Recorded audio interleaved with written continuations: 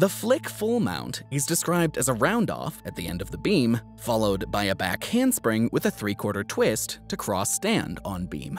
Despite being considered a full twisting mount, the code allows three quarters to be performed before contacting the beam and the remaining quarter to be done in hand support. This element was upgraded from D to E in 2013 and has been famously performed by Olympic champions Svetlana Khorkina and Sanne Wevers.